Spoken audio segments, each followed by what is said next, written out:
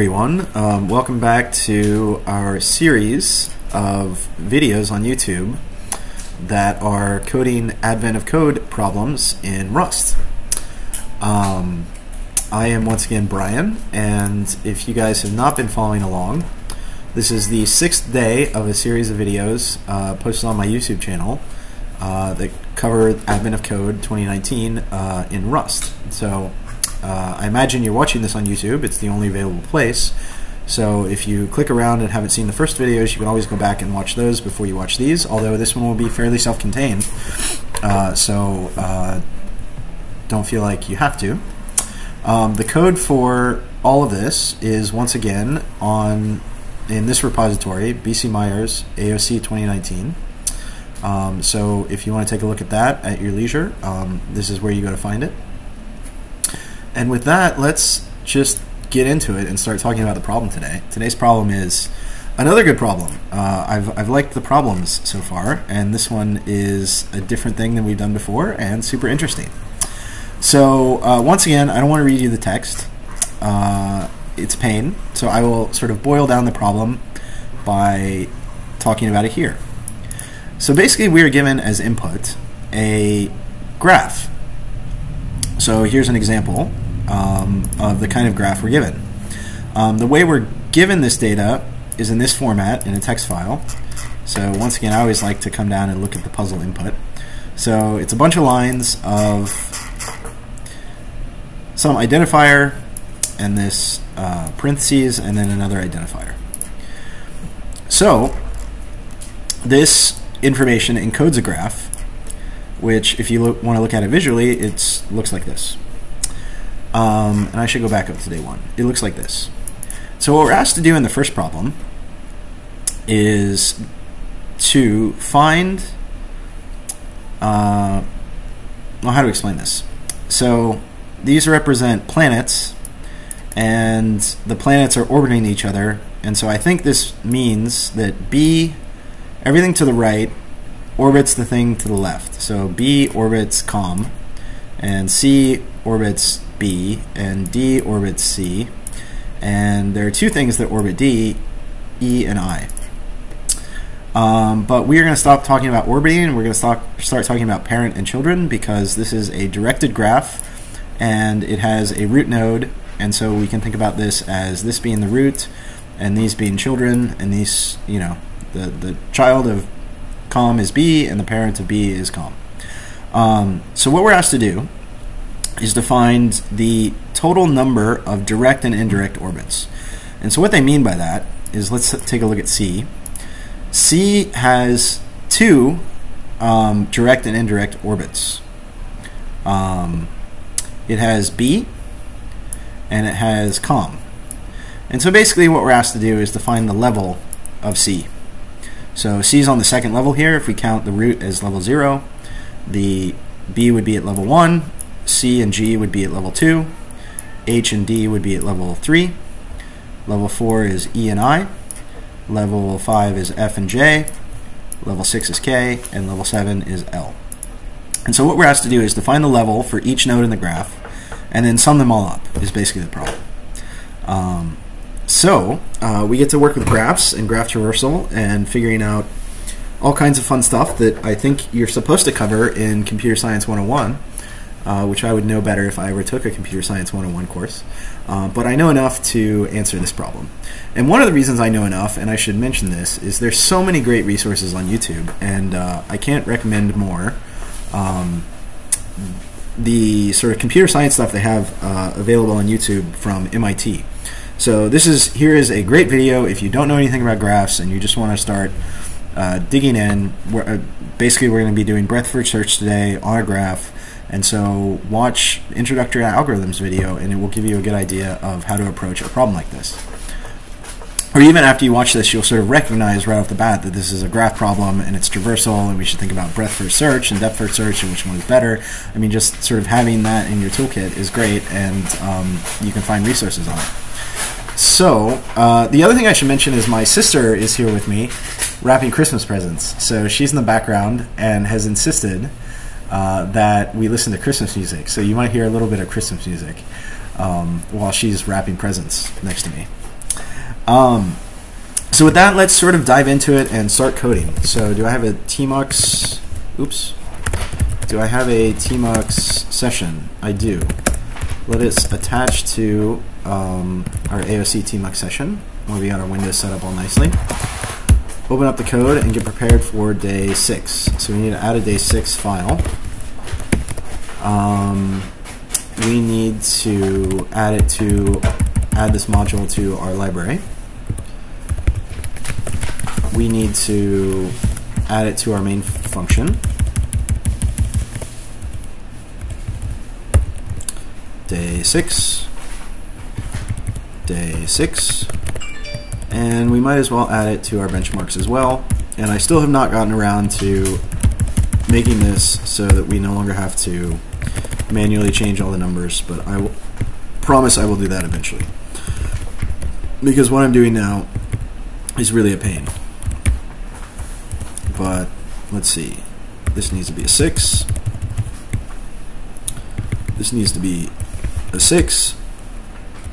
This needs to be a 6. And we need to add a sixth target. Uh, 06. and this cannot find the right the module this needs to be a 6 maybe because RLS is just not finding it so let's quit and restart and that was nope can't find function oh yeah of course you can't find the run function because we have not created a run function so let's go into our day 6 file and create a run function but let's steal the signature and we're probably going to need this stuff as well from day 5 and let's go into day six, and there we go. Um, we will not need our computer for day six, though. So let's say unimplemented.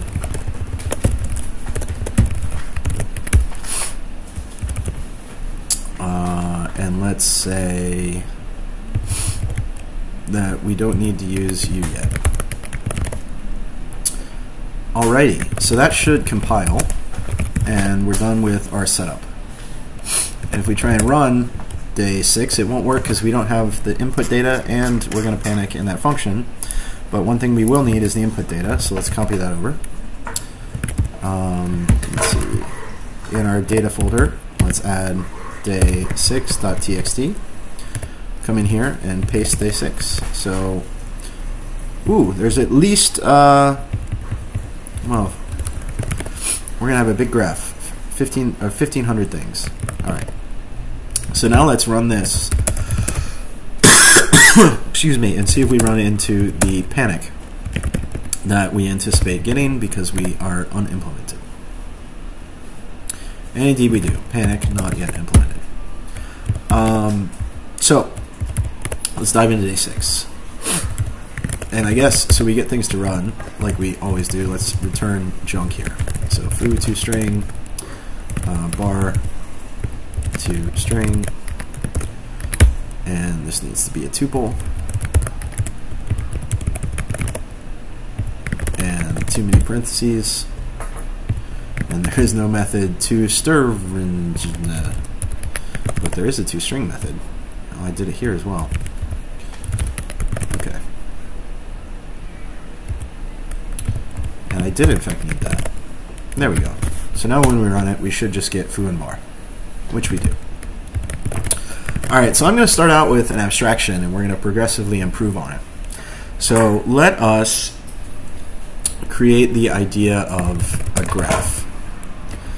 And this graph is going to be a hash map of, we'll start out with strings, but change that eventually, a hash map that keeps a string, which is the idea of every single node, and then for every node, we are going to have a vector of its children. Um, so that is our graph. And what we need to do is first be able to construct a graph from our input. So let's create a parse function, or parse input function, where we take in our data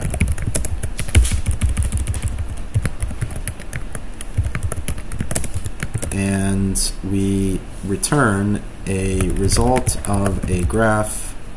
Well, yeah, sure, a graph or an error. And let us implement this function. But we need use standard collections hash map. We're going to use all kinds of collections today hash maps, hash sets, VecDeques. It's going to be exciting.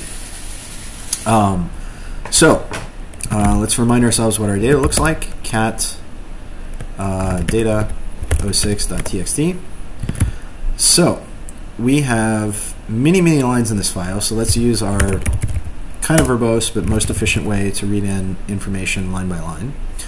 We say uh, loop and we say if reader dot read line into a buffer ever equals zero, then we know we're done with the file and we break.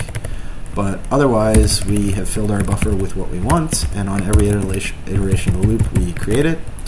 And we need a buffer to fill to begin with. So string new. Um,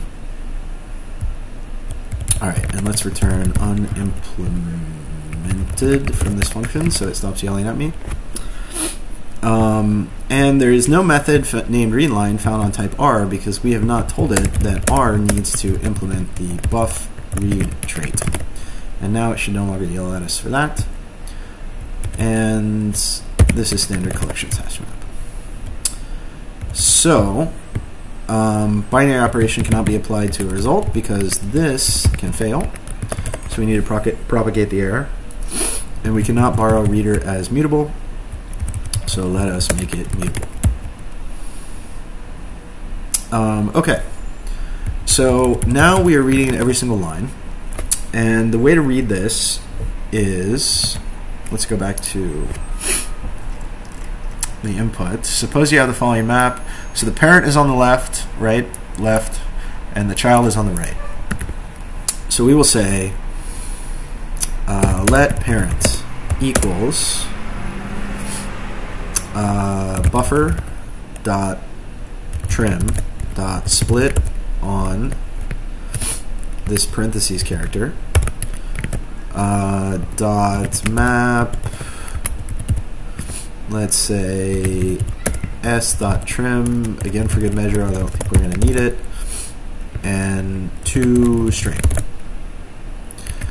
Um, and that should get us Oh, no, what we need is an iterator. We need mut iter. All of this business needs to be our iterator. And now, to get the first item out of that iterator, delete to the end of the line. There you go. Um, we will call iter.next, and this information needs to be there, so this returns an option. If it's none, it, that is an error. Um, so we need to say error unable to parse input line da da da. Uh, and the line is buffer dot trim. So let's say let line equals buffer dot trim, and let's say line dot split, and then we can say line here. I'm closing my parentheses, so this is now a result. So let's um, propagate the error if we have one.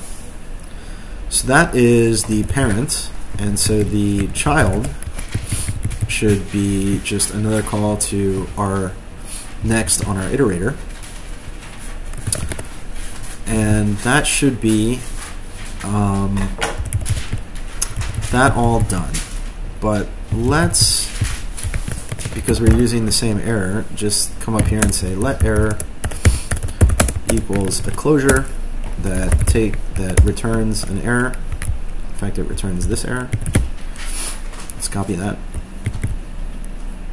Uh, but we don't have line, so we can't do this. Never mind. Um, okay, so now we have our parent and our child as strings. And in order to create a graph, what we need is a hash map. So we'll start a hash map up here. Mut map equals hash map new. And every time we get a parent and a child, we need to take our map, call entry on it. I'll do a better job of explaining the entry API this time. Put our parent in, which is going to be the key, and call um, or no, what is it? In or insert with an empty hash map, no, an empty vector. Um, and that gives us back a mutable reference to the value. So let's dereference it. No, let's not dereference it. We can just call push on that directly and push the child. So now we have entered the parent and the child in the hash map. So let me explain entry again. I, again, this, this entry API is really nice in Rust. So you have a hash map.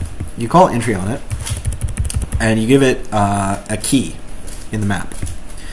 If that key exists, well, actually, when you call entry on it, you get back this object called an entry an entry object has this method on it called or insert with. After you call this, if this key existed in the hash map, then this whole business here returns a mutable reference to the value that was in the hash map for that key. So in this case, our values are vectors, so that's why we can call push directly on what gets returned from here. If, however, this key is not in the hash map. What this business will do is it will enter the key in the hash map and it will put in the hash map a whatever we put here, so a brand new vector. And it still returns, right? All this business still returns a mutable reference to the value in the map for that key, but now we're guaranteed to have a value there because we didn't have one, we just added one. And that's why, again, we can just call push here and we everything works. So that is our first version of a graph kind of complete. Um, so now all we need to do is come down here and return a graph that is just a wrapper around our hash map.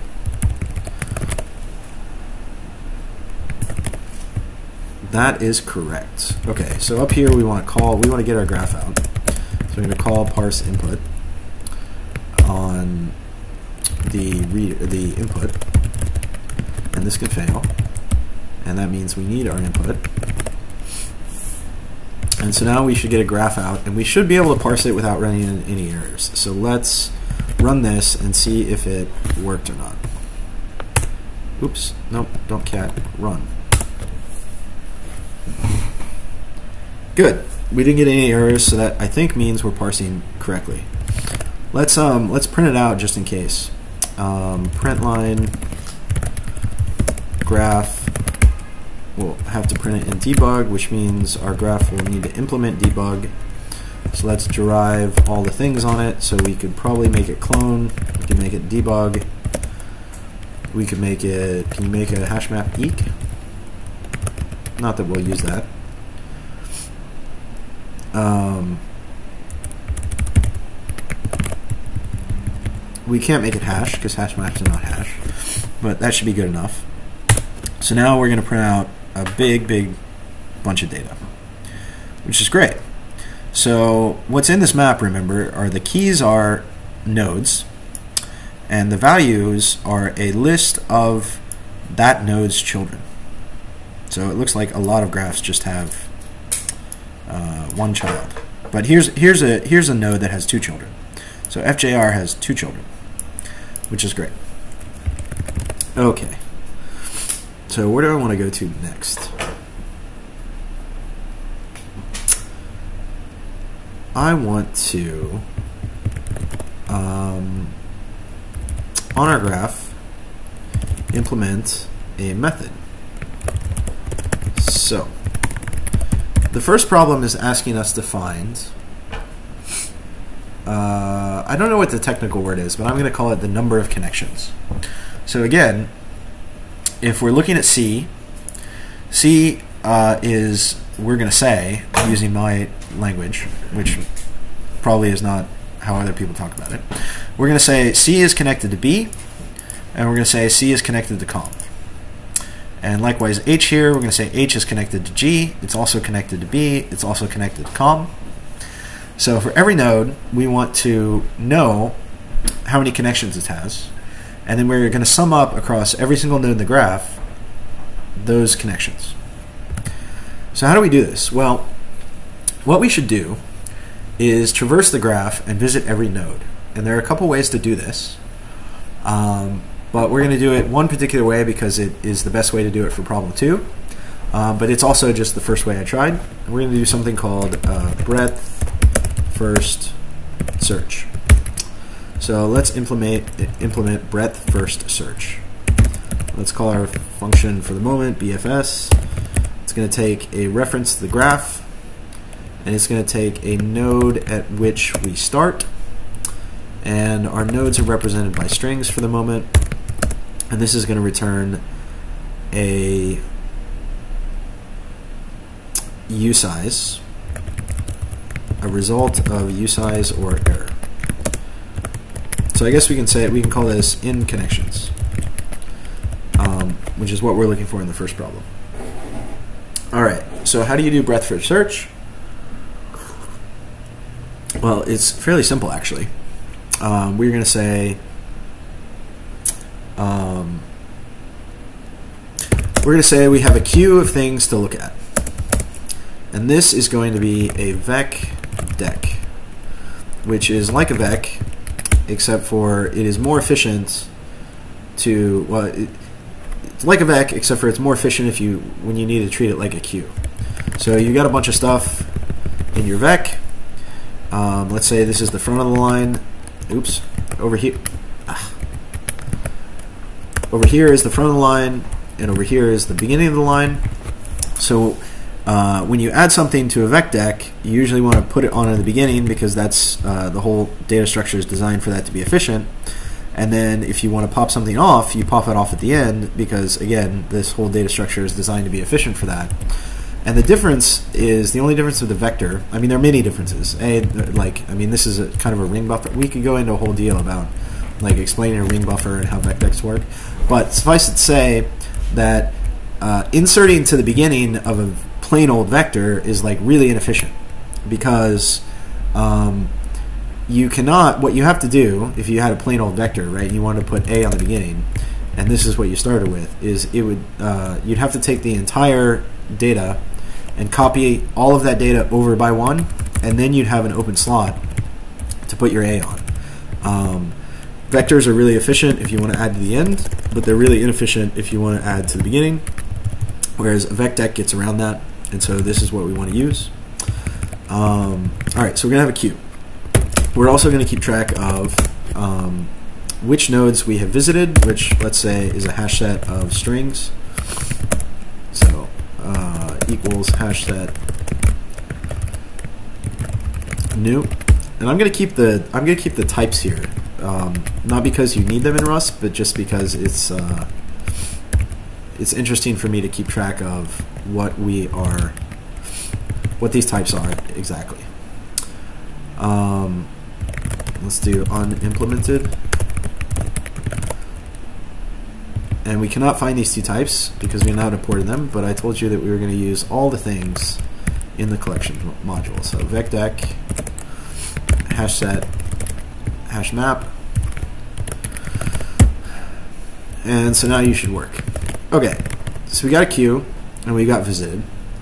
And the first thing we're going to do is we're going to add ourselves to the queue. So QU EUE dot push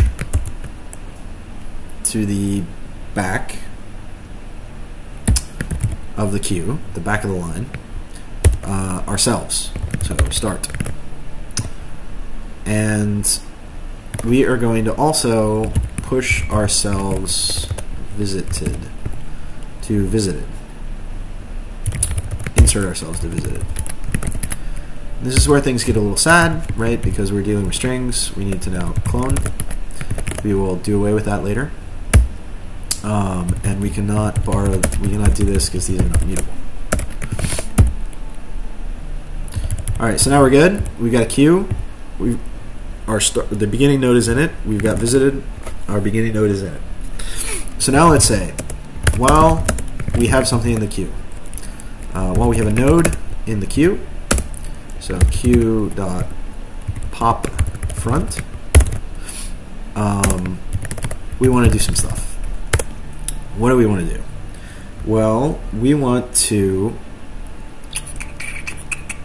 look up all of our children. So we say if we have children, if let some children uh, equals self dot zero dot get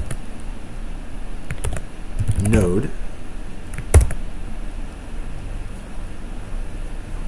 Yep. So if we have some children, for each child in our children, we want to say, have we visited you before? So if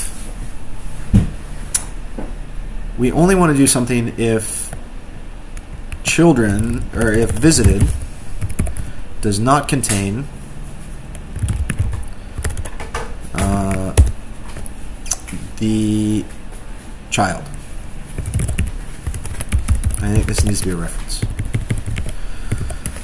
So if this is true, then we want to sort of process this node. So we're going to process the node, and certainly once we process the node, we want to mark that we have visited it. So we will visited dot insert this node of child, and we will also put it in the queue so that we can eventually look at its children. All right.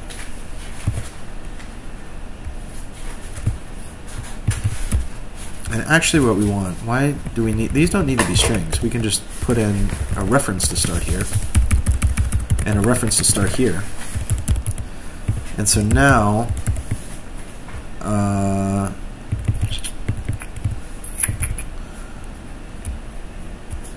we can add, if we have a, let's say, reference to a node here and a reference to children here,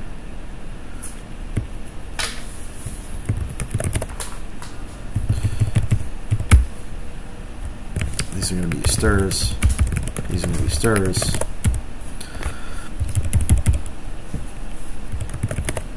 Hmm.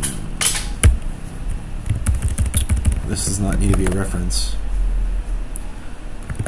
And let's see what it's yelling at us for. So self.0.get node. Can I do that? Oh no, now it's a str str. Okay. So the problem here, this all this sometimes happens with uh, strings and strs. So get takes something that implement, implements borrow, which is a trait uh, and that has an, uh, a type associated with it of str. So you see this, it like the trait standard borrow. how do we explain this? Um, I think we can get around this by doing this, and then I will go maybe try and explain it. Use standard op deref. Yes, that works, and this should do the same thing if we can't just do that. Yeah, this does not work. So, deref. Alright, so now everything works. So let's talk, because we ran into this problem, let's talk about the um, borrow. Let's talk about borrow. And I wasn't anticipating on talking about this, so hopefully I can explain it. Um, Alright, there's a trait called borrow. And when you look something up in a hash map, so when you call like get on a hash map, what you pass it is, let's bring that up to Rust Uh, by the way, I'm, I don't really want to see a vec. It's just that if you type into Google Rust vec, uh, there's like a hundred percent chance that you get this page of the Rust documentation, um, and so that's why I always type in Rust vec to find what I want. So let's go to HashMap. and let's look at get get get. So get takes a type q, which is hash and Eq. Okay, whatever. But q. Um, okay, so the key of the hash map. So hash maps have two associated, well, three associated types themselves. Hash maps can have are generic over the type of key they take, the type of value they take, and also this random state thing, which we don't need to worry about. So hash maps are generic over their key, and all their key needs to do is implement Hash and Eq, right? Which makes sense because you got to be able to hash something to put it in a hash map. So this key value has to implement borrow of q, and we're the get method takes a reference to a q. So when we get something, and we need to make sure that whatever our, the type of our key, the type of our HashMap's key is, implements borrow of q. I know it's super confusing, um, but it makes everything work really well. So let's go back to borrow. And uh, I mean, borrow is not very exciting. It just has a method on it called borrow, which gives you a borrowed. Um, so remember, we had to be borrow of k of q, right? So our key needs to be borrow of whatever we pass in to get. And if you come look at string, string is going to implement borrow. Uh, borrow, borrow, borrow, borrow, borrow. It's going to implement borrow of str. um, okay, which means that we can pass in. Remember, so this is our queue, right? This is the queue that we can pass in to get.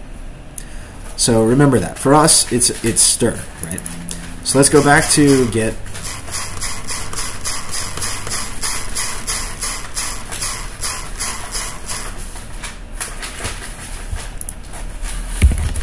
hash map.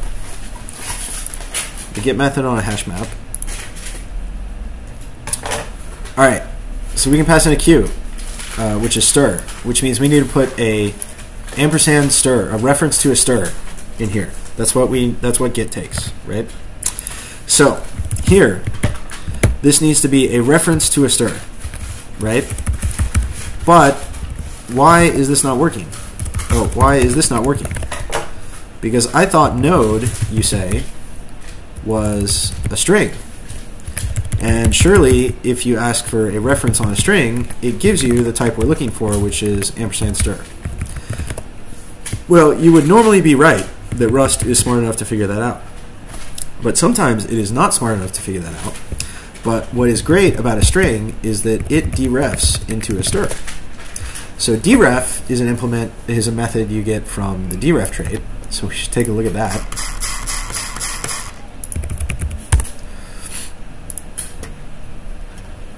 And deref, or actually we should look at string and see what it derefs into because it, it implements deref. So let's look at string and come down here and search for deref, or let's just search for deref. Yeah, so here we go. Deref target str, um, which means that with the deref trait, uh, with the deref trait, uh, it's got an associate type, which is a target. If you call deref on it, it gives you a reference to that target. In the case of string, the target is str. So if we call deref, we are guaranteed, no matter what, to get back an ampersand str, which is what we want. And so this is a way to work around the issue.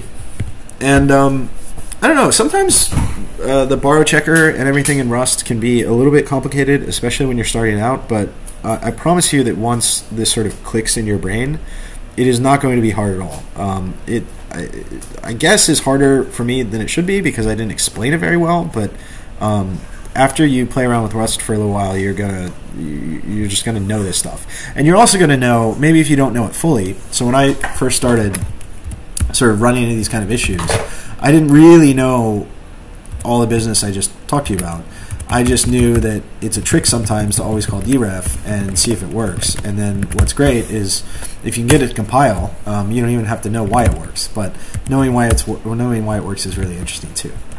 I think another way uh, another way to do this is to take take the um, a reference to the node. Well, what is this type, by the way? Uh, what does it think this type is? Like, why does it think this type is not a str? It thinks this type is that, which is not exactly the same thing. So if we dereference this and then call ampersand on it again, maybe it will think it's a str. No, it won't. The most surefire way I know when you run into this problem to get when you have this and it can't figure out that what you mean is this, the best surefire way that I know to get around that problem is to do this.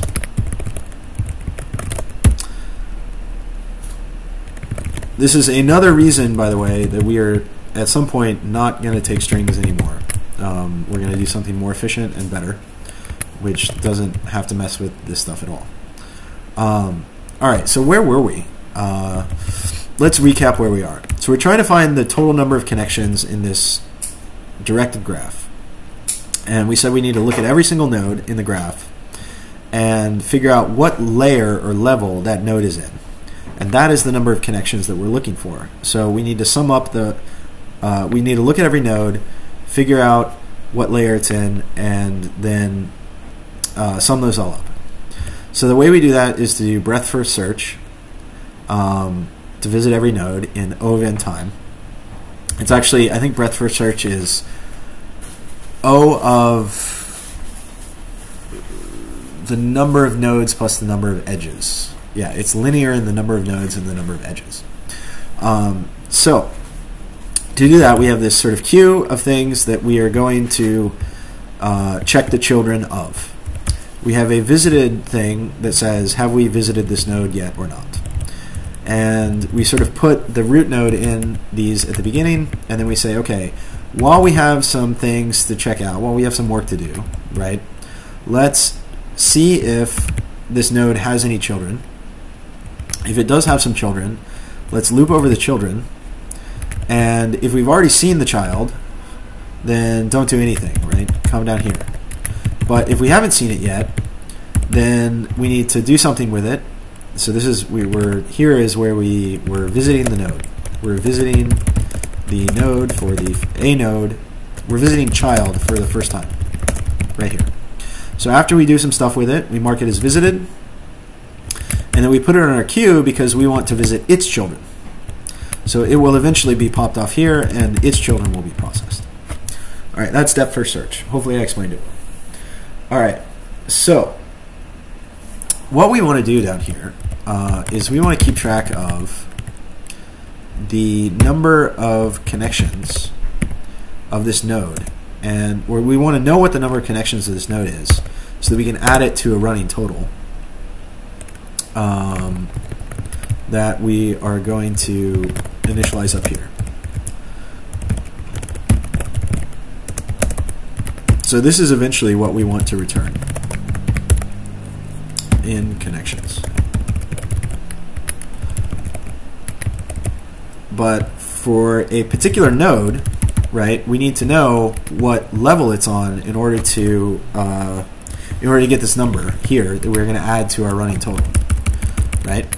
Um, and so the way to do that is to say, well, we're going to keep track of we're going to keep track of levels, and we're going to say this is a hash map of uh, strs to levels. And we are going to say that uh, this is a hash map new. So for the first node, for the first for the root node, right? We know that le our levels for the starting node is level zero. So we say that up front. And then every time we visit a child, well, we know what the level of its parent is. Just think about the first node, right? Like, so we know the level of the first node. So we're going to come in here, we're going to get the root node's children. So clearly, we know the level of the children. It is levels.get of the parent.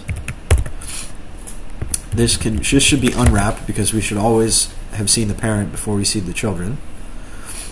Um, plus one, right? Like our level is one more than our parent's level.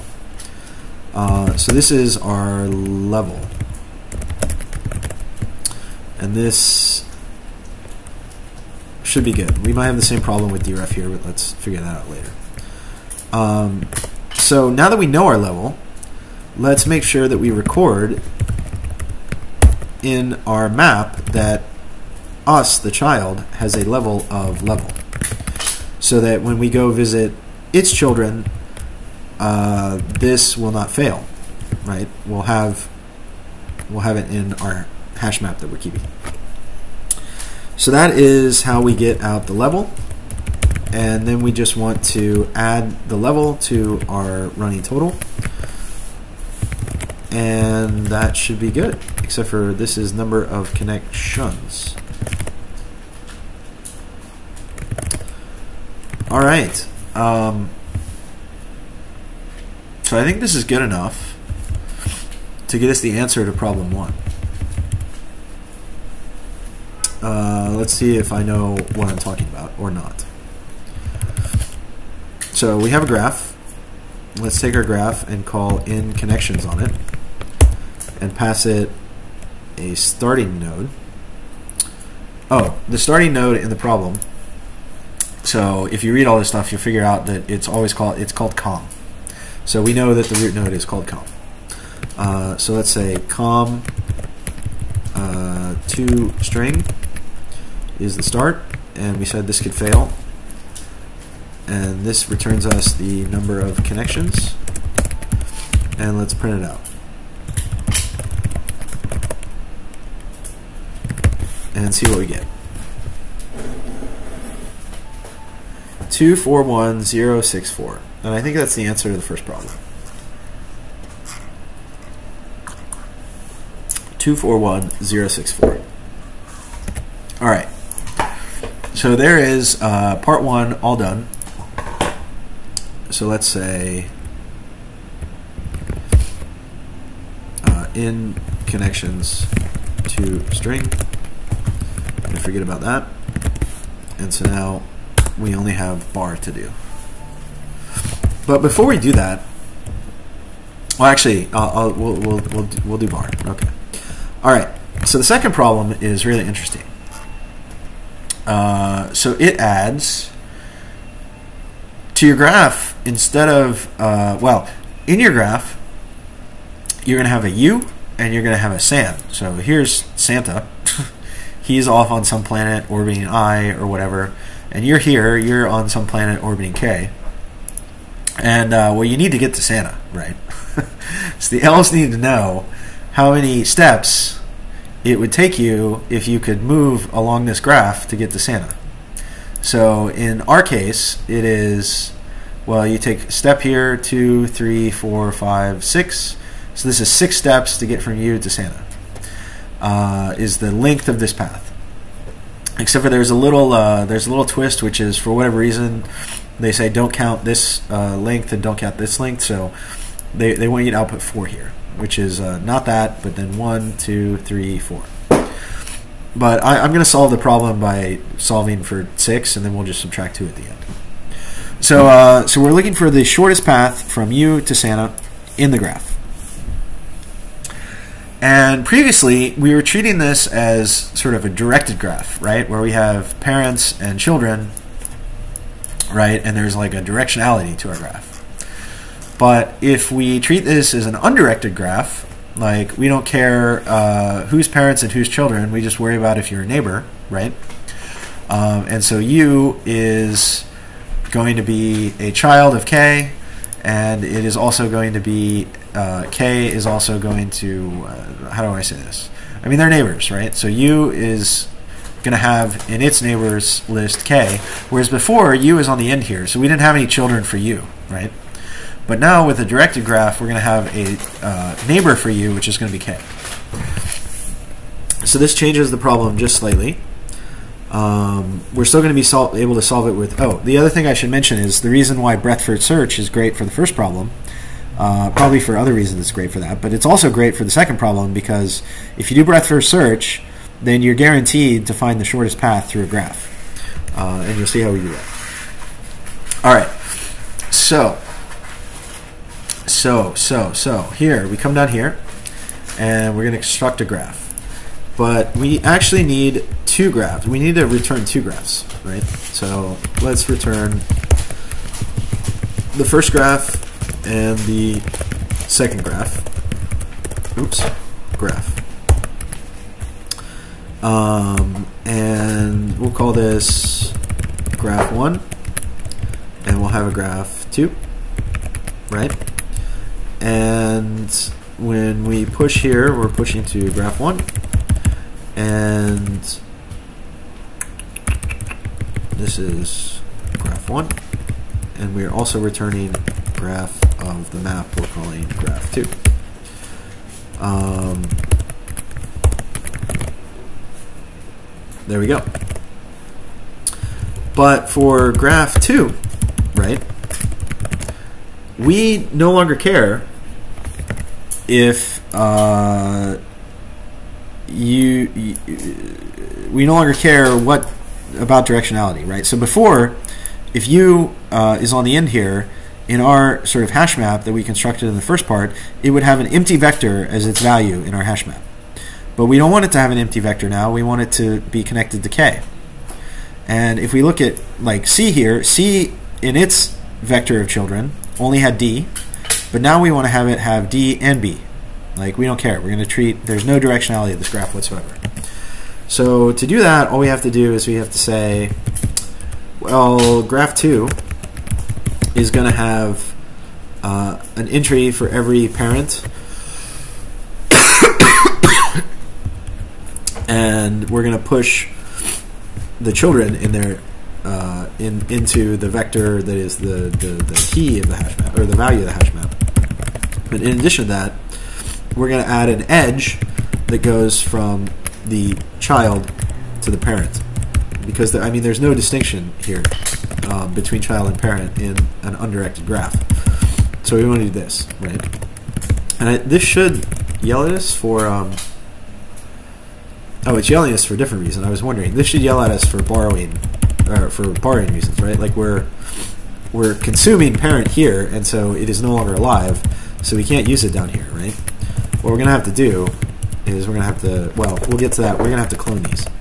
Um, but uh, let's fix the problem up here. So no method name in connections found for type because now this is graph 1 and we don't care at the moment about graph 2 and this is graph 1.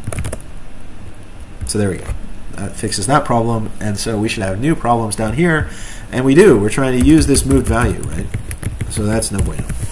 So that means we have to clone here. So sad, we got a clone, but we're going to fix all this cloning business. We're going to fix it. Uh, we're going to fix all the cloning business, so I'm not even that worried about it.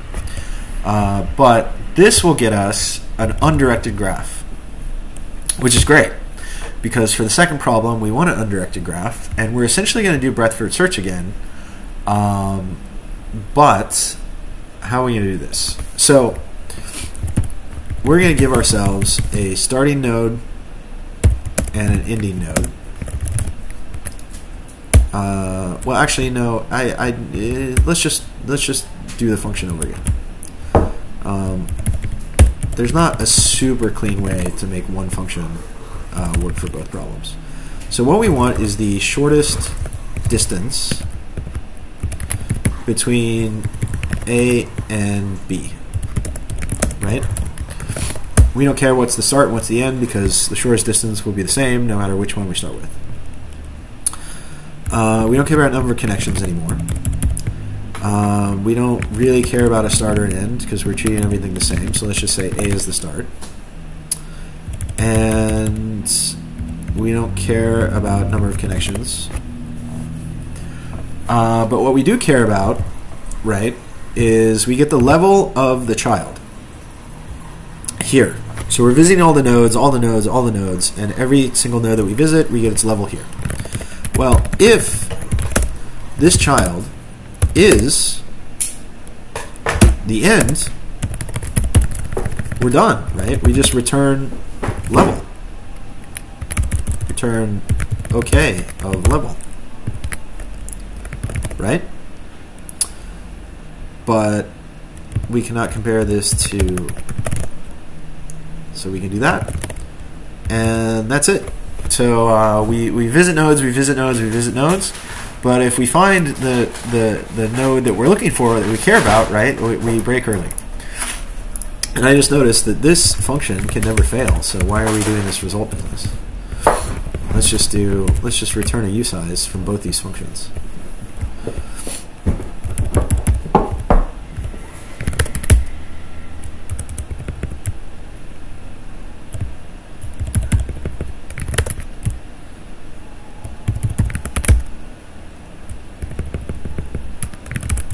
Oops.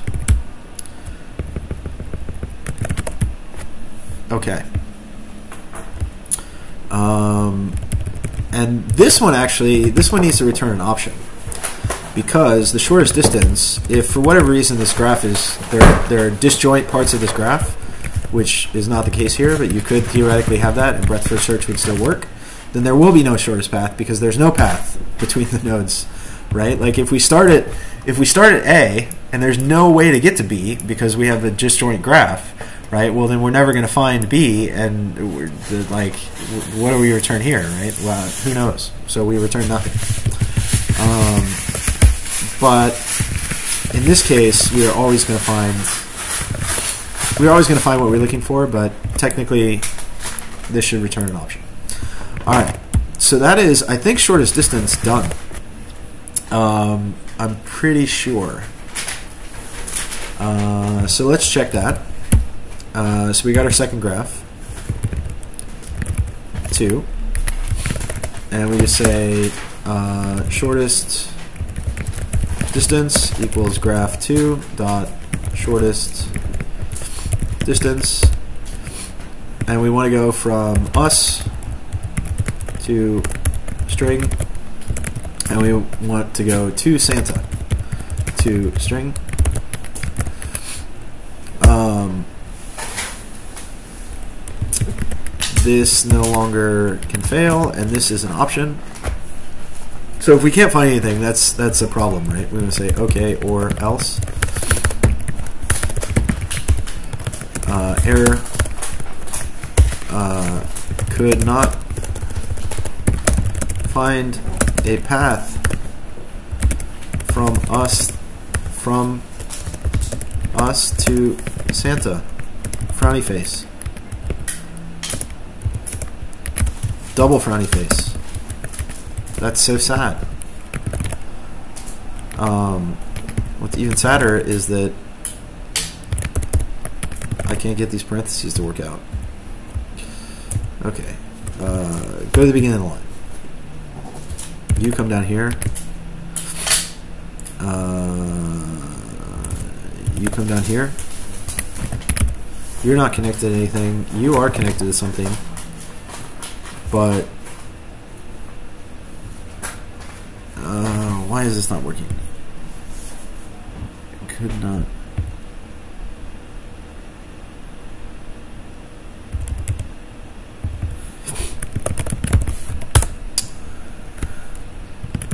Oh, it's because we have two exclamation points. Get rid of that. And now you should work. Okay, good. So the answer, right, answer 2, we said was the shortest distance minus 2 because they are asking you this question weirdly in the problem. But that is not important. And this is a result, and so we need to propagate. Uh, and we don't need to do answer 2, this is answer 2. And let's call this answer 1. Well, we keep calling that one in connections. So let's run this and see what we get. We get 418, which is indeed the right answer, 418. So that's uh, that's me going on a sort of not very coherent because I didn't plan on talking about it rant on sort of the borrow trade and uh, how sometimes when you try and get something out of a hash map um, and your keys are strings, um, it gets confused and cannot understand that a reference to a string type uh, should be able to be sort of automatically turned into a reference to a str. Um, and so if you ever have this problem uh, and don't understand what I was talking about, just call deref on it and then you should be good. So we did that, and then we showed you breadth first search uh, to visit all the nodes and get out the information that we want. Um, but we have this nasty business, right, of like, well, we need to have two different graphs, right? Because let me, well, I guess I already explained why we need two different graphs. Um, but we, we, we have to we have to have all these strings like all over the place. That's not fun. Um, and so, um, well, first of all, let's benchmark this to see how I didn't do this before, but let's see how how let's see how fast this runs, and then we'll compare it and see if we actually speed anything up by doing what I want to do next. So let's run cargo bench um, uh, day 06. And I'll drink some coffee while we do that.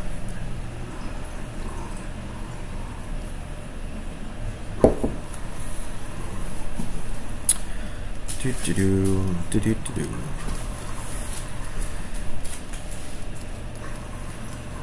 Oh yeah, this is a hell of a lot slower. I was getting benchmarks around like seven seconds on my final answer, so I think maybe we'll get like over uh, over a fifty percent speed up with what I want to do. Uh, but let's let this run and and record the data so that we'll have it. Yeah, you can see I've run the I've run this before, right? So it's it's over twice as slow. Um, all right, so how do we improve on this? Well, the problem is all this all this allocating of strings. That's that's that's no good. So what I want to do is every time we run through a line of data, right? Uh, well, let's have a running. Let's have a sort of ID variable up here. Mut ID equals zero, and let's say that we have another map of IDs and this is going to be a hash map.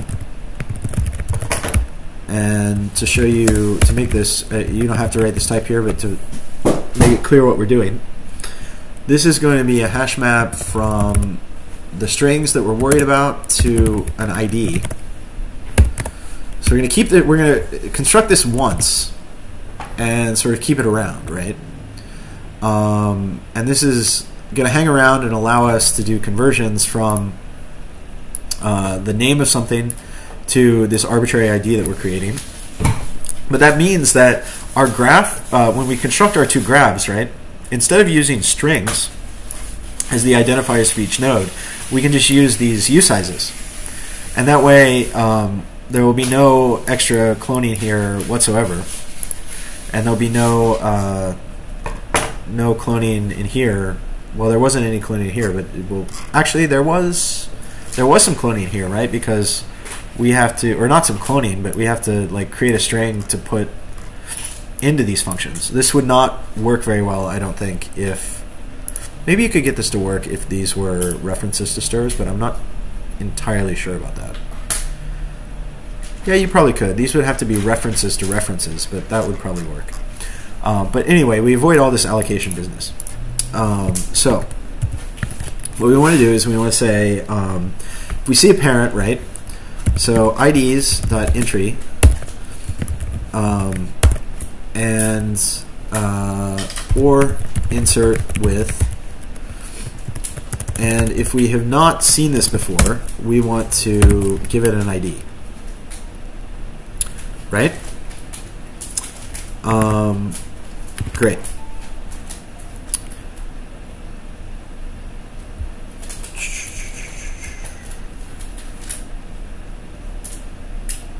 Yeah, but we only want to give it an ID if we have not seen it.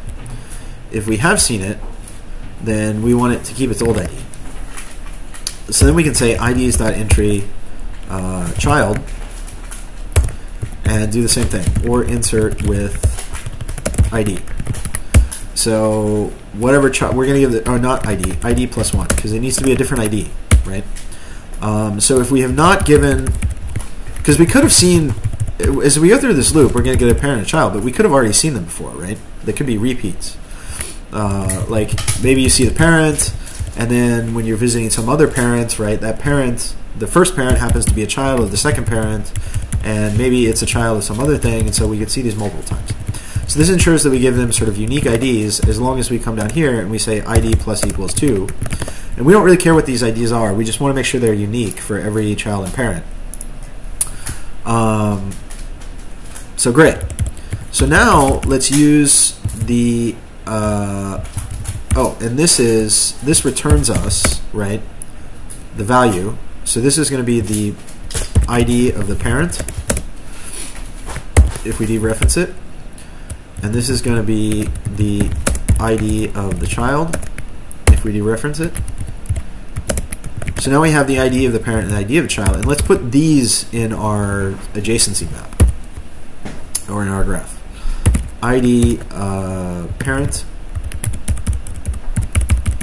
Um, ID child. ID parent. ID child. ID child. ID parent. Um, but that means our graph is now going to have to deal not with strings, but with usizes, right? Um, so let's come up to our graph here, and let's make it generic, because why not? Because before we did strings, now we want to do usizes, but let's just uh, one of the things I want to talk about today is how to how to do generic stuff in Rust, which is totally overkill for this problem. I mean, what we really should do is just make these usizes and forget about it, right? Maybe we'll do that. We'll do that to begin with, and then we'll make it generic later. All right. So uh, our graph is now has keys as usizes and vectors of IDs or usizes as the um, values. So um, so that should be good. And we probably want a, a, an ability to, even after we return this from this function, right? We want to uh, be able to take a take a string and figure out what ID it is. So this function should return like IDs, and all IDs is right is it's uh, it's the hash map we just created. It's the hash map of use or string to usize. Um, okay. Uh, type equals. There you go. Okay. So uh, we need to we need to return that here. So this is our IDs. And now this this parse input function should work and we're doing a little trick here uh, to basically only uh, only allocate the uh, the strings once, right? Or e each each node uh, is is got a name. It's got a string as a name, but uh, and they're all here. They're all all those strings are sitting in this ID's uh, hash map, right? But they're only there. Our graph is now dealing just with numbers, and which you know we can copy around without having to worry about heap allocations or cloning or anything like that. Um,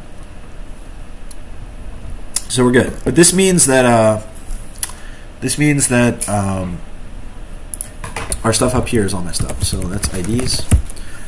Uh, this a node is now a is now represented by a size, right? A particular ID, and we can just uh, insert those directly, right?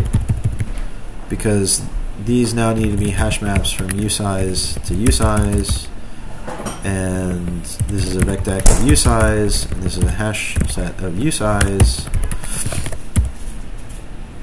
Um, okay, and now we go through and we do this nice stuff. Or no, that this is probably this one. Yeah. Uh, star, star, uh, star. What? What are you doing? Okay, go back up there. Star. So this makes this just like so much cleaner. And here we don't need to worry about deref anymore and this weird sort of thing with the borrow trait. Right? It all just works and we can copy around willy-nilly. Alright. So same thing down here, right? We want nodes are represented by usizes. Um, da da da, da da da, uh, da da da, da da da, da da. And you guys get the ideas of what these types are, so let's just erase them. They were there so you could sort of keep track as you're watching, like what the heck we're talking about. But hopefully, uh, hopefully they're not needed. Oh, and uh, that, that, that. Okay. Uh, let's get rid of them. Well, let's leave them up here, just in case, you know, you want to know what the types are. All right. Uh, so with that, everything will work, except for up here, right? When we call in connections and we give it the root node, we give it the ID of the root node. But luckily, we're going to know what that is, right? So we just say ids.get uh, com, right? And if we can't find the ID of com, then there's a problem. So, uh, uh, com node missing. And this gets us back the ID of com.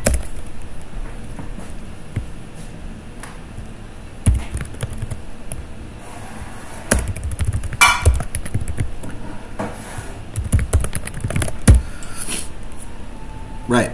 So now that's what we, when we ask for the number of connections, we do it from the ID.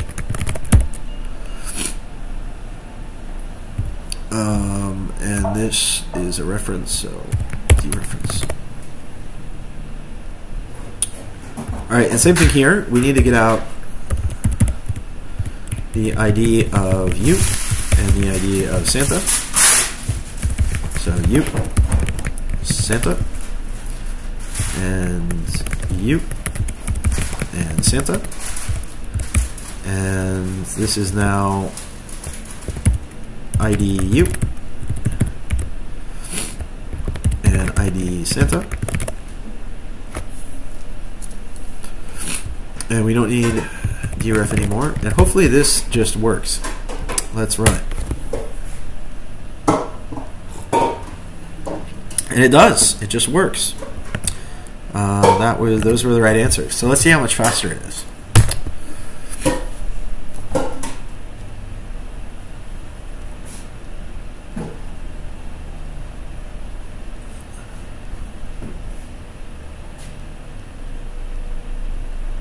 warming up for five seconds.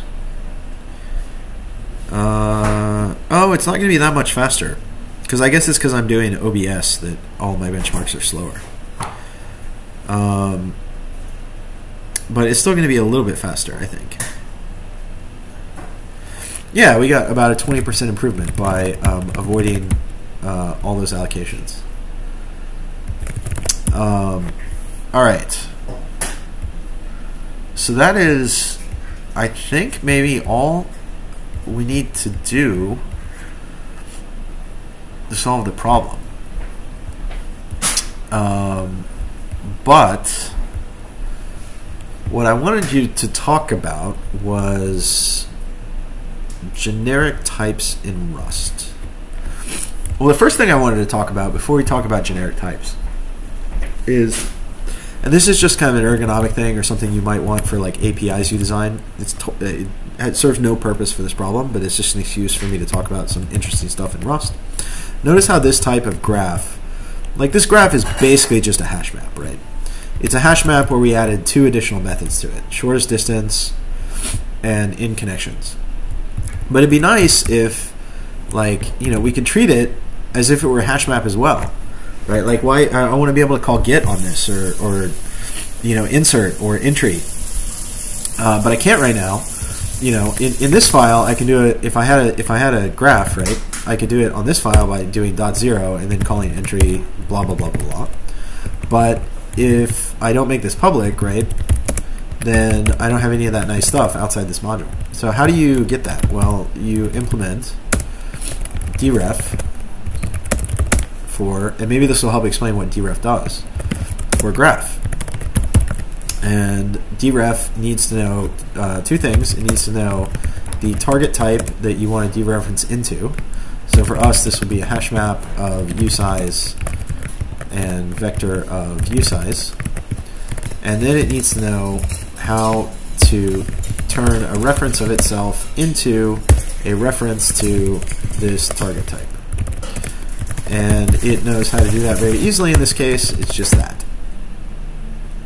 So now we actually do need deref. We need standard, deref, deref, and we're about ready to do deref mut, and we're going to do some others too. Um, but for the moment, let's just do that.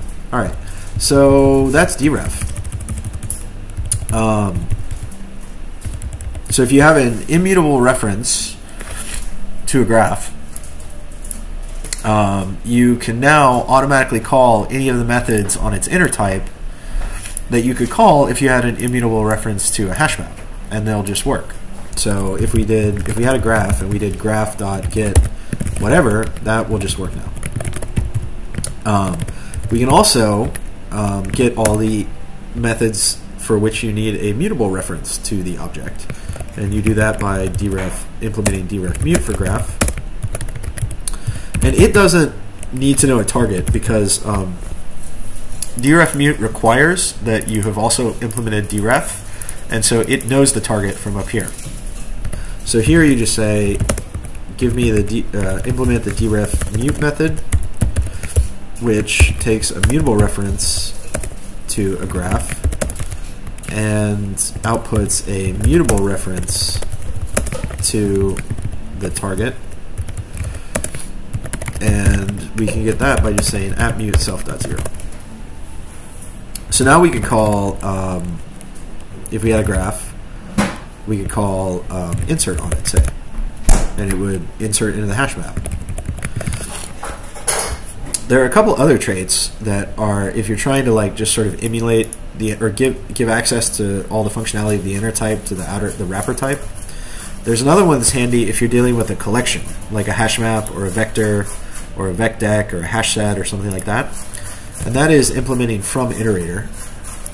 Let's go here.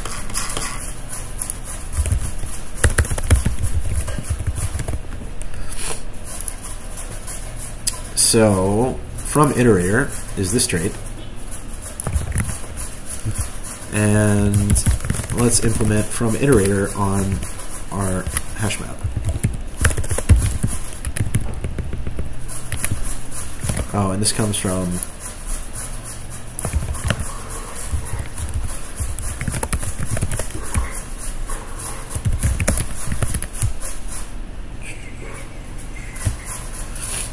from iterator. And this this little parameter here is uh, well you know if you have a vector and you call into iter on it. And then every time you go through an iteration you get some sort of value that's what this is. So for a hash map, right, it's the key, it's a tuple of the key and the value. So in our case, it's a tuple of usize and vector of usize. Um, and this t needs to be just a t.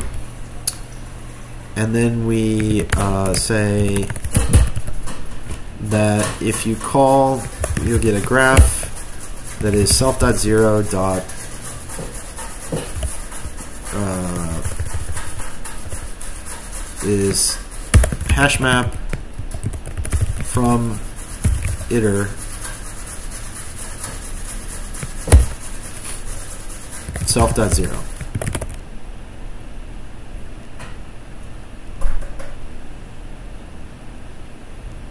Oh, uh, wait, okay. So, impl from iterator for graph. Alright, from iter, iter, blah, blah, blah. Cannot find type A. Type A is a tuple of usize and vector of usize. And expected value found. Oh, we don't have a self here. We have uh, from iter of iter. Actually, yeah, uh, that should work. Okay, we could also do this. Maybe this is easier. Iter into iter. All right. So what this gives us is if we have a graph, and let's say we map over it, and we get because uh, map. Okay, so map is a method. Map is a method on hash map that takes a uh, a reference to self. So we can call map on a graph because we did this, right? But let's say we do a map, so we get a key, uh, we get a the the key and the value here. So some key, some value, and we do some stuff with it. We like transform it. We do like key plus one value. So if we wanted to collect this back into a graph, that is principally being able to do this is principally what implementing from iterator on our graph type does. So that is, again, all of this stuff has nothing to do with the problem. We're done with the problem, obviously.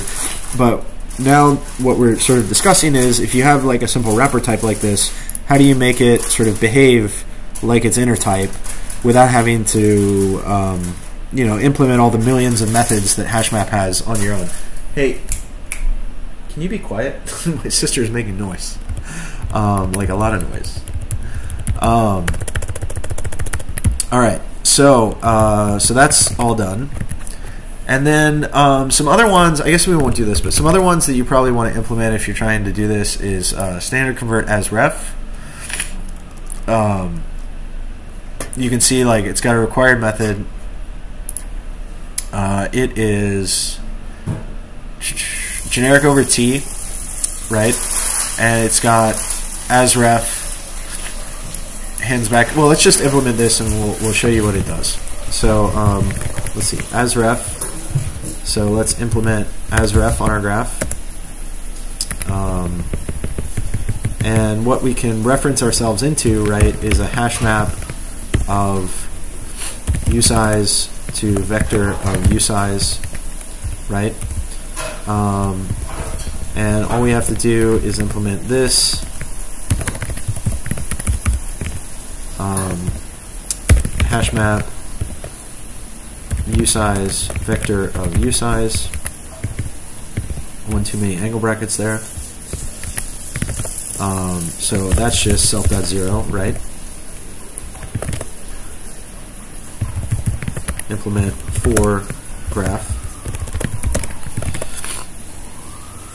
And so now that we have this, I don't know if you guys ever seen these functions where they're like uh, functions open a file. And it's generic over a p. And you say path is a p. And this returns you I don't know nothing.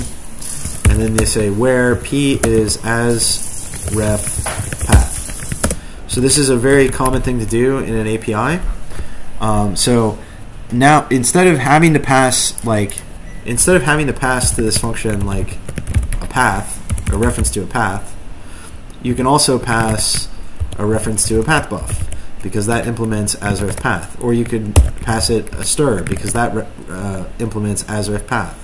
or I think you can pass it a string because that implements asref path. And so this allows you, if somebody has ever written, I doubt they've ever written this for a hash map, so this is why I didn't sort of go to this one. But if somebody has ever written a function where the generic parameter is a hash map of, like, say, a key and a value, right? Uh, k, v, well, then we could pass our graph in here, and it would work. There's also um, an asref mut, um, which is less common. Um, and then there's those borrow uh, traits, borrow and borrow mut. Um, and uh, so I think that's enough about this, but hopefully uh, it gives you just a flavor of um, what you can do of have your own wrapper type and give it all of the nice stuff of its inner types that you want. Um, so so one of the reasons why so let's let's show let's give an example of how this is useful. So we come down here now that we've implemented deref and deref mut. Right here, these can be. Ooh, let's do this too. Let's our graph should implement default, right? Um,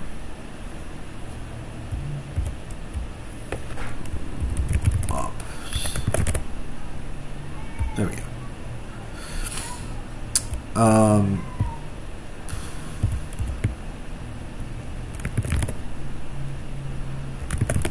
why is this a problem?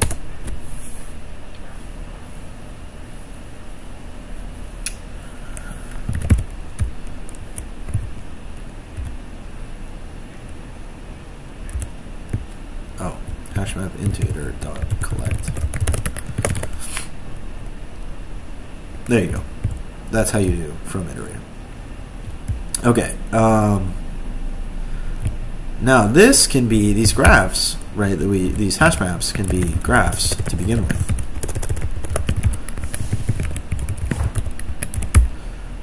Right.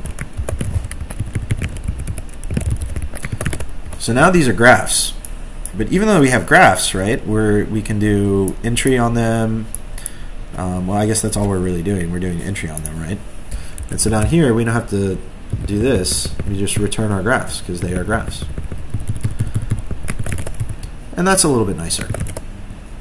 Again, totally unnecessary, but hopefully you learned something about Rust. Um, all right.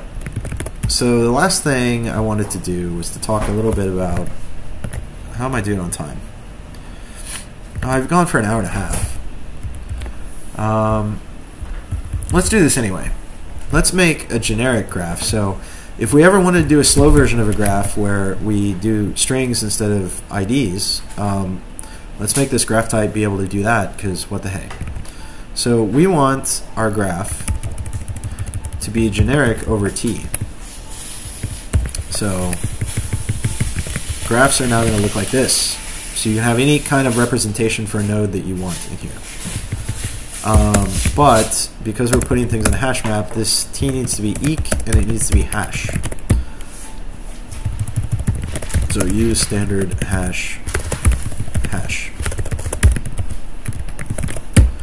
Right, so now we have our graph is completely generic over how we want to represent the nodes, right? Um, so that means all this business needs to do every impl block has to do this. This is kind of a pain. Um, T, T, that works. If we have a generic graph over generic over T, then that should work now. From iterator, this can be a T and this can be a vec of t's. And we need to be generic over this. And we need to return a graph that is a t, uh, generic over a t. This needs to be some other, let's call it i. Why is this not i anyway? Um, okay, so you should work. Are you working? Oh no, this one needs the hash thing. So we say where t is eq plus hash.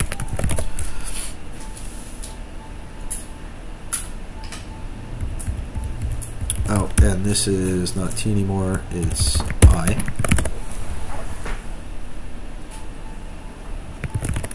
And what's the problem here? Cargo check. Uh, well, let's let's come back to this uh, error. Uh, so this is also needs to be generic over a graph.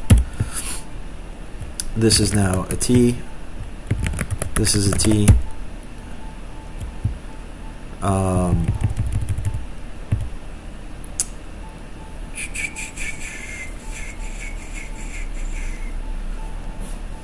this is um, oh it's because I kept the types on here. So T to usize T T. This is definitely going to need um, T to be Eq and hash. It might need some other things. No it doesn't. It's good with that. Okay so that's done Oh no, uh, let's see. Oh yeah, uh, let's see, let's see, let's see. Oh, start needs to be a T, right? We should be calling these in because they're how you represent a node. So apologies, this is going to take a while, but we're just going to come back up here and change all of our T's to ins because that's better. So let's start at the top. Uh, run Oh, here we go. This is where we started, right? Um, in, in, in, in, in. Oh, sorry, this is tedious, guys. I apologize for this. Um, but let's just let's just bang it out. Um, in. Uh, in this does not matter at all. It's just more intuitive for me. And if you know, let's say this were actually a library and you somebody were using it, right? Like it would be easier for them to get what was going on with this generic type parameter if it is clear that it represents your representation of a node. Uh, T is too generic. I use T for like generic type, but uh, oh yeah, this is the problem that we need to come back and solve. And then these need to be ints.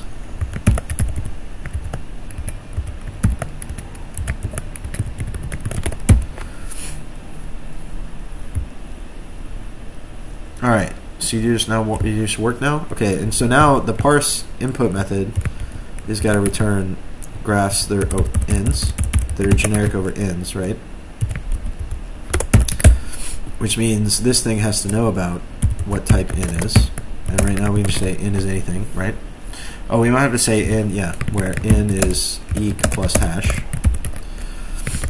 right? Um,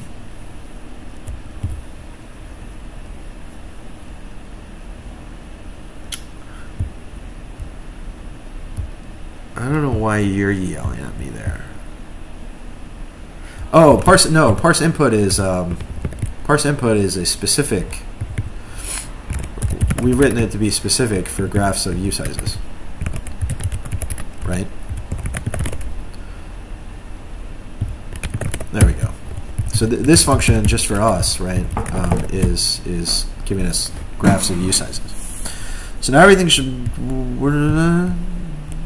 Uh, okay, so if you need to be hash unique too, let's make you hash unique. Is eq plus hash where in is eq plus hash. Because uh, you guys get it, right? Like, we need to put something in a hash map, so it's got to be hashable, and you have to be able to do check it, check it if it's equal to another thing of its type. Uh, and now we just have this problem, which is the only problem we have left, and let's see if we can solve it. So can we solve this from uh, from just uh, saying, can we solve it by just saying, ha uh, yeah, hash map from iter, iter,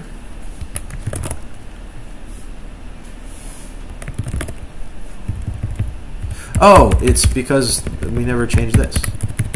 This is why it's yelling at us. There we go. All right, but now we're going to run into the familiar borrowing issues um, because when we weren't generic, right, and we were just using usizes here, then we didn't have to worry about um, the clones and, and uh, the clones because we, we had a copy type. But now that we have a generic type that really could be anything, um, we're going to have to clone, which means for all this stuff to work, uh, our type is also going to have to implement clone. Um, and here we are going to have to clone A. But if we have a copy type like usize, this will just copy. Um, then we're going to have to clone A there. Actually, no, let's not do this. Let's have let's have our function take references to in. Right? Um, and so these hash maps are going to be references now. And uh, can I do this?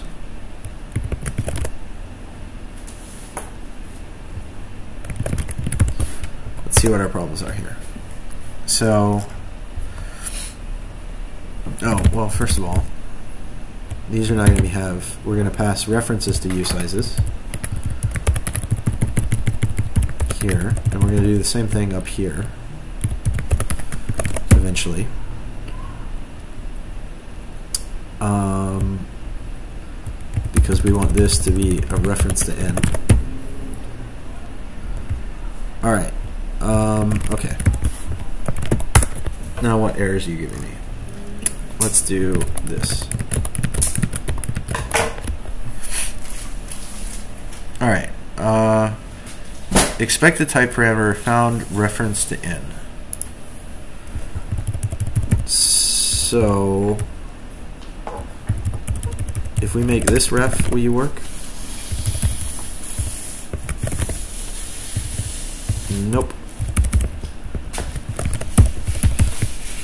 Okay. Oh, now you work. Okay. Um, and this is probably just going to have to be that, and that, and that. There we go.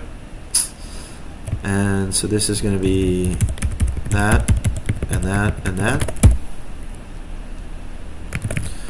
And there we go. Do we have any errors? Cargo check.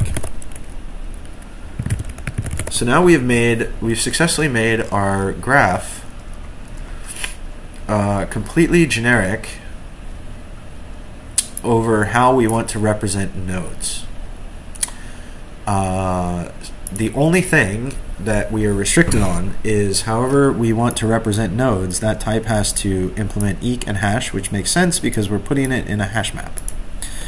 Um, but otherwise, we could represent nodes as i32s or strings or uh, foos or bars or um, UUIDs or whatever you want to do to represent your node, you can now because we have made We've genericized all the things.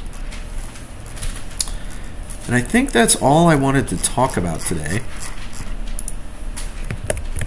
Let's uh, let's cargo check and cargo run again. Because hopefully I hopefully I didn't actually mess up our hash map or our graph. This should still just work.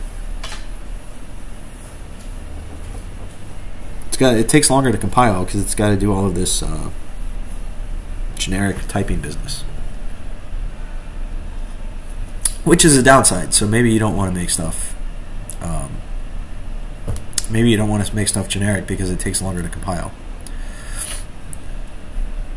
Are we going to get a speed improvement? I don't know why we'd get a speed improvement, but it looks like we might. No, same time. All right, so let's do cargo run 6 uh, and pass it data 06 to make sure that we still get the right answer. And we do. And let's add, uh, the final thing we need before we can commit is we need to add tests.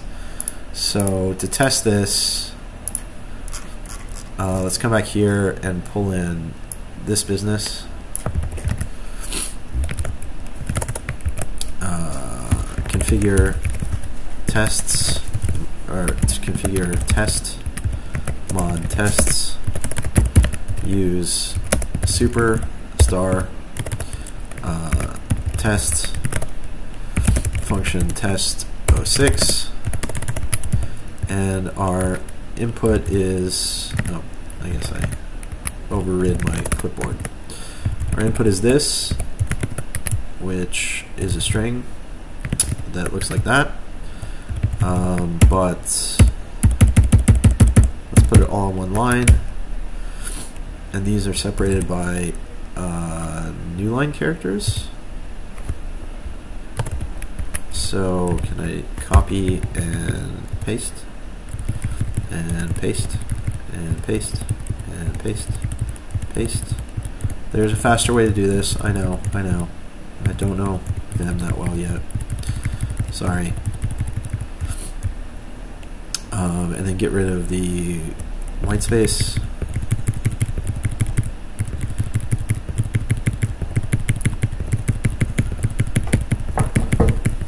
So this is going to allow us to test uh, part two because it has you and it has Santa in it. Um, so let's say this is for um, part two. And um, here, you can go over there now. All right. So what we want to do here is we want to uh, our functions take readers, right? So we want to say let reader equals io BufReader new of input and we want to say run on no we want to say let graph equals we don't really have a way to create a graph from input do we Um, but that's fine. We'll just call parse input. Um, so we call parse input on reader, and this can fail probably. And this gives us a graph 1, a graph 2, and IDs. And we should do this up here because we're going to need it for number 1. Oh no. Uh, yeah, we got to do this twice because the input is different for these. Um, so now we need uh, we need to call graph two because that was our undirected graph. Shortest distance and give it the ID of you and the ID of Santa. And this is going to be some number. Let distance equals that. And we can just unwrap here. Um, and this is as bytes because uh, an I/O BufReader um, cannot take in a string; it has to take in a um, a, a, slice of U8s. Um, all right, so now we need the IDs, right? So the way we get the IDs is we say let ID u equals IDs dot get uh, u dot unwrap uh, p reference and id Santa is IDs get Santa unwrap. Oh, this is fine because we are now passing references to usizes. So that's good. And we need to assert eq dist equals uh,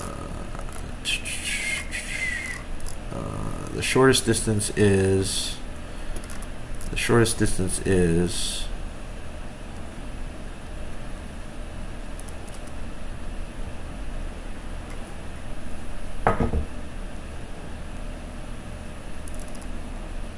Oh, I guess we just here. Let's just look at it. It's um, well, the way we're calculating it's one, two, three, four, five, six, right? One, two, three, four, five, six. Um, so they're looking for four, but we'll just say six there, because that's how we encode it. That's how we're dealing with distances. Uh, this needs to be unwrap. And that is that is testing part two. So let's test part one. Um, and that is the same input except for we don't have you and Santa. Uh, so the graph stops there. And we need to deal with, oh wait, did I overrode the wrong, this needs to be graph 2 and we don't need, let's call this, uh, well, this is undirected, right? And this is undirected. Let me, let's make that clear up here too, just for people reading the code. So this is uh, a directed graph. This is an undirected graph. And so this is the directed graph. This is undirected graph. This is undirected graph. This is undirected. And this is directed. Um, okay, so here we pull out the directed graph and we get the ID for com. Uh, com, oops, com. And we ask what the, what did I call this method? The in connections are for ID com.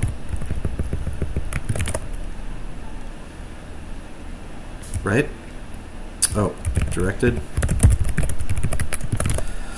And now we assert that in connections, in connections is equal to, I think the answer is 42. Let's check that. Because uh, I did write tests for this one. 42, yeah. Okay. Uh, so that's our tests. Let's do cargo test. And they did not, oh, they did run. Here they are. And they're, they're okay. Okay, good. Uh, why, we have one, two, three, four. Oh yeah, we didn't do tests for day five. Um, okay, let me look over the code one more time, uh, and I think we're ready to push to GitHub um, take our input. Uh,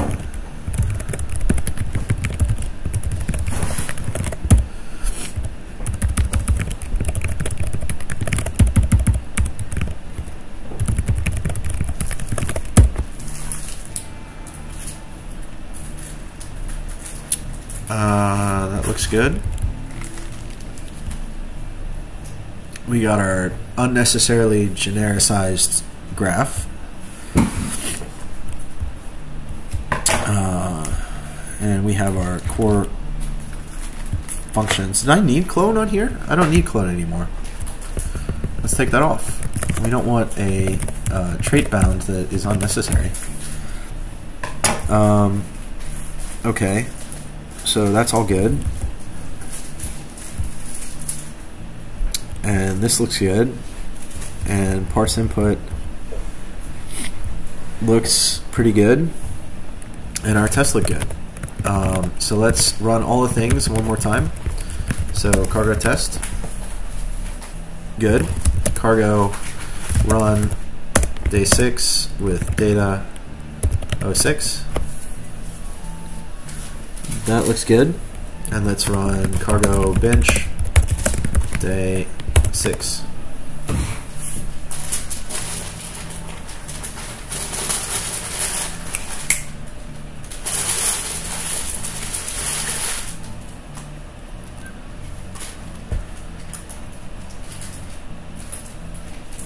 Warming up.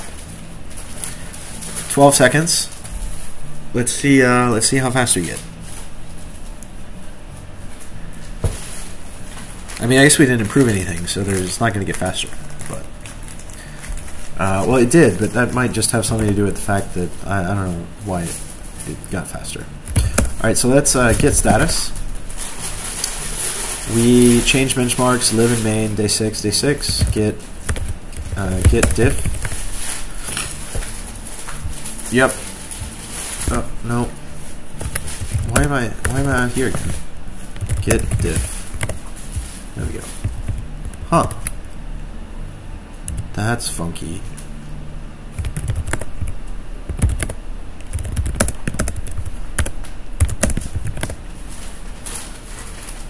Huh.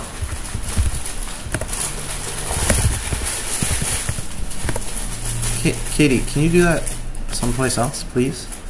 Uh, like, seriously. My sister's being super loud with her wrapping paper. Like, I'm almost done. Can you just hold off on for like five minutes? Like, really? Stop making noise, please. Sorry about that. Uh, okay. Git status. Git diff. That is super weird.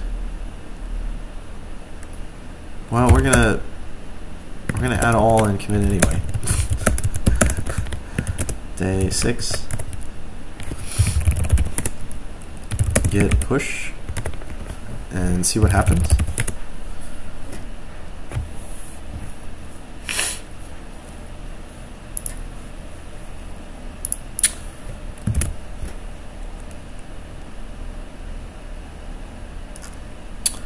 So there we go.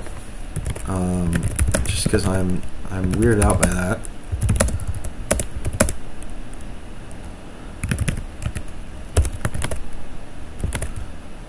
Okay, but um, so there we have it. That's uh, day six complete, and hopefully you guys had a good time uh, looking at it. It's um, I mean it's a good little sort of just basics of graph traversal problem.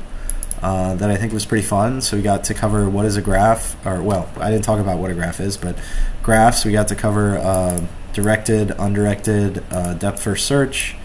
Um, you know, some uh, interesting little minor micro optimization to get rid of uh, string allocations. And uh, hopefully, this is a good solution to the problem. I mean, I I don't know. Maybe there are faster ones, better ones, but this is the one that I came up with. Uh, I actually haven't looked at anybody else's solutions for this one yet, but I'll, I'll go online after this and uh, try and figure out if I missed something or is there something better to do that we can improve. And uh, again, hopefully, I will keep up making videos. I, I, I, this is taking a whole lot of time, so I can't promise I'll keep doing them. But uh, I love uh, I love sort of talking about Rust and teaching Rust and the. I learned, uh, like I said, I, I'm sort of learned a lot of programming by watching other people explain things uh, on YouTube uh, in this sort of fashion, and I found it um, very, very helpful and a really good way for me to learn. And so I just want to give back a little bit and talk to you about some of the things that I've learned in Rust. And it seems to be a fun way to do that to work on these uh, advent of code problems. Um, and so hopefully I will see you for uh, the next one. Thanks.